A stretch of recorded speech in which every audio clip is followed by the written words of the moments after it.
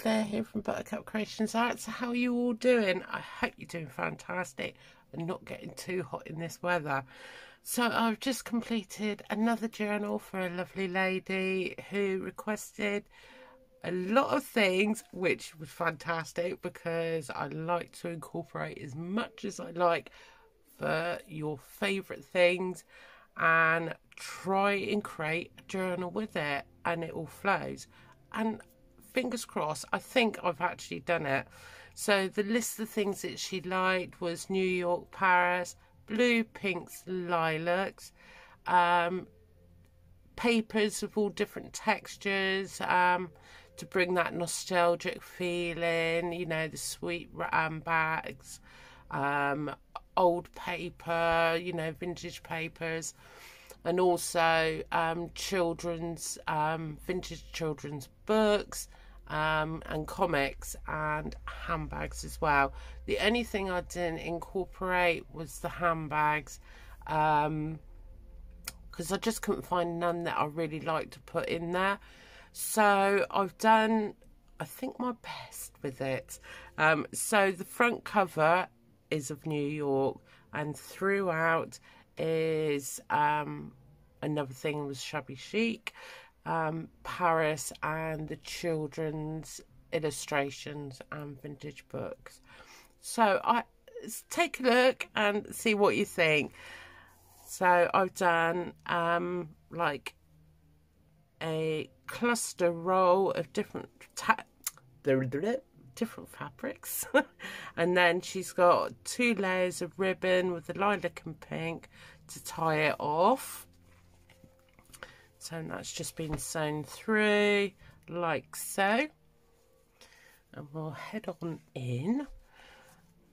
So on the cover I've done Central Park. I got an illustrated image off of Google and I think it's in the winter time at night um, because the trees are bare um, and it's all dark colours in the water, the reflection.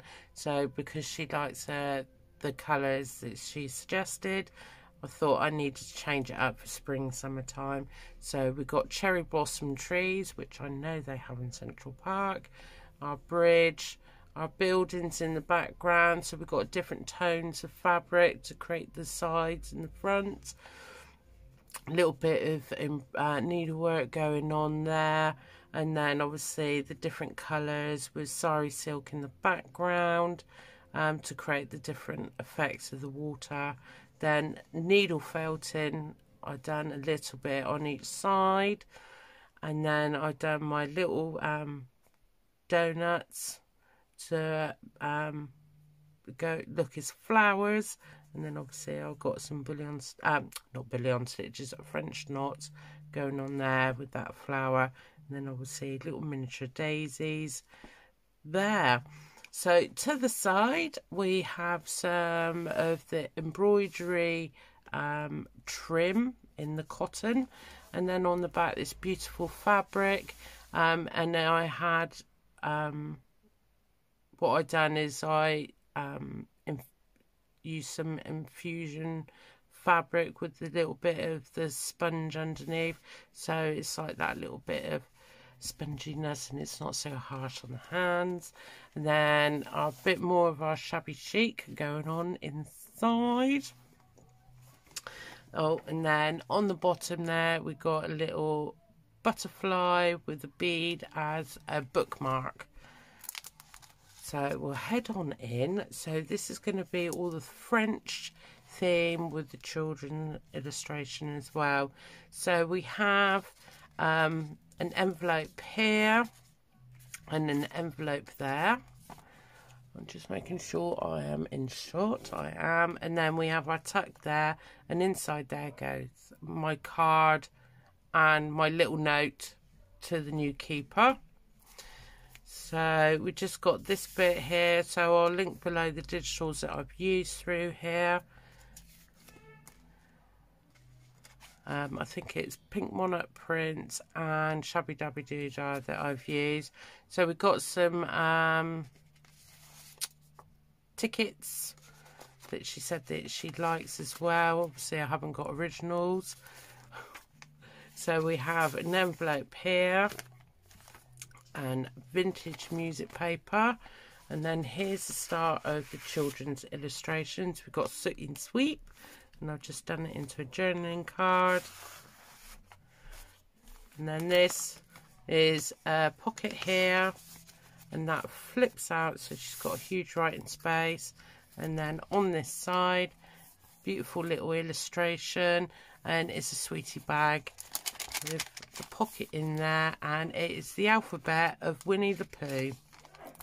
So we got boff, verb, to cough in that very excitable sort of way that bouncing sort of animals like tigers do quite a lot. he just is bouncy, said Piglet, and he can't help it. some of my copy dyed paper and some beautiful trim. Then we've got some of our um, vintage book pages. This is, I think, Shakespeare. More of the digitals. Then this beautiful paper I got from, it's actually called the Journal Shop. And it's like really old. They got like all this old stuff hidden away. And then they had some of this paper here where it's got the little bits of um, flecking so it's a nice touch to it. Then I've got one of my clusters there. And then we've got another journaling card. And this is Little Girl, Little Girl, where have you been? Gathering roses to give to the Queen. Little girl, little girl, what gave she you? She gave me a diamond as big as my shoe. So we have a tuck here with some goodies in, little envelope there to put our bits in.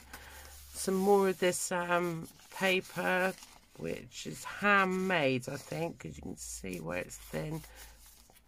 Um, and then what I've done is we've got some little bits here, and this is from a 19... So I've found, because I don't obviously collect vintage children books, um, but I was given some old annuals from 1970 and 1972.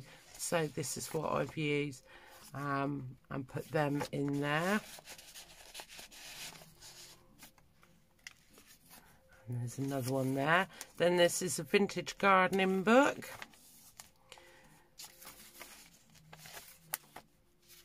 Some parchment paper. And then win, uh, W is for winning. Now, isn't that she neat? From her head to her feet, she is dainty and sweet. So it's just a little notebook on the inside. Then a vintage cookbook. So if you fancy kidney soup. Jew Louise. No, Jen Louise soup. And then if she fancies a little bit of gardening, this opens right out. Small vintage paper. And then mushroom cream soup. Nourishing soup. Mmm. Another beautiful little illustration.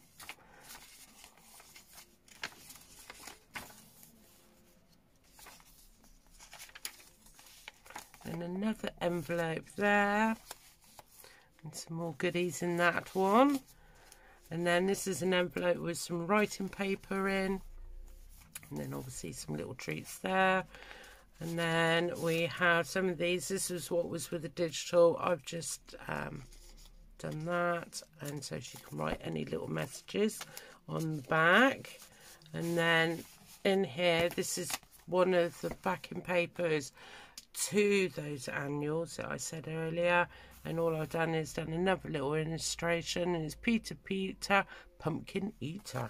Mm. I've got pumpkins growing. So another big envelope there and then another little tuck. So plenty of spaces for her to write and to add all her goodies as well to create those happy memories. Another little pocket here and that opens out and some more um, paper and another one of these books with pocket, another tuck, and a belly band. And then that's the first signature. And then in the centre, we've got this giant envelope.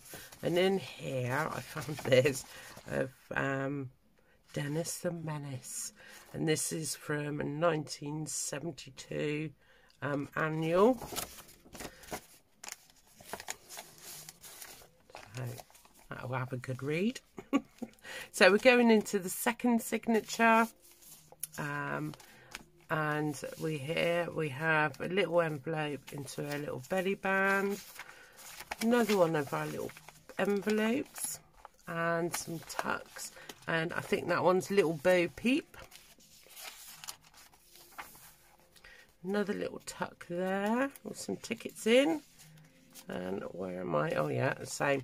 So you've got another big pocket there and then a belly tuck there and there's another one of the and Sweep journaling cards. And then we got, ah, Rupert says, well, hello, Mr. Man. I guess we've made you as good as we can. Now don't run away on the first warm day. Talking to Snowman. so another bit of journaling card. Um, journaling paper. Then we've got another beautiful illustration with some more of the alphabet and another pocket.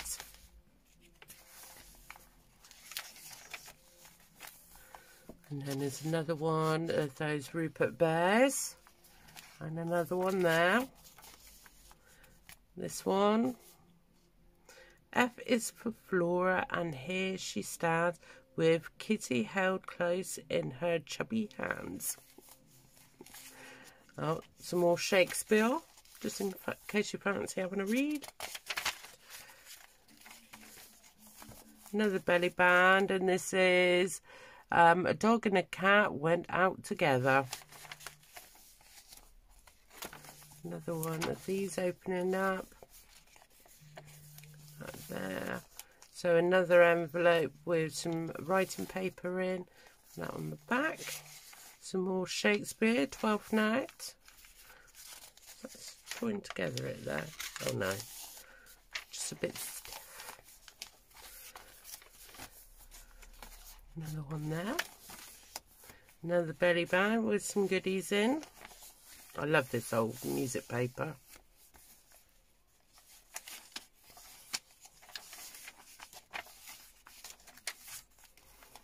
The beautiful little illustrations. Another envelope part of the tuck. Mock hare soup or milk and milk and onion soup. Mm.